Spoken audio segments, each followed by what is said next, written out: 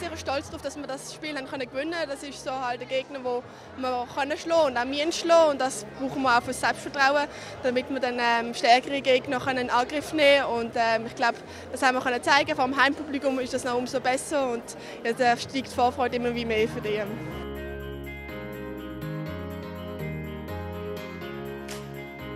Als Trainer will man natürlich immer noch mehr, wenn man sagt, äh, ja, die Mannschaft ist zwar parat, aber vielleicht wären ein paar Prozent gegangen. Aber wenn ich es vergleiche mit den Smacklingen, sind wir drei, vier grosse Schritte vorwärts gekommen. Also heute vor allem im Block haben wir das gut gesehen. Wir haben sehr viele Blockpunkte gemacht, gut geschlossen. Und dort haben wir Universiade, da sind wir dort rumgesegelt. Und heute haben wir sehr viele Punkte gemacht, dort haben wir einen Riesenschritt gemacht.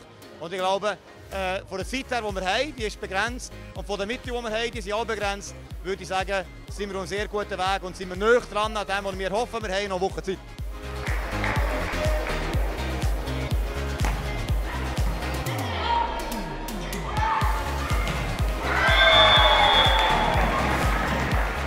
Wir sind alle ein bisschen hibbelig, glaube ich.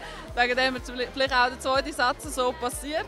Aber es ist ein mega schönes Gefühl, eben mit so einem Sieg können zu gehen. Ich glaube, wir freuen uns einfach riesig, wenn jetzt Videos schauen, wenn die Gegner wissen. Und dann kann es losgehen. Hoffentlich geht es nicht zu lange.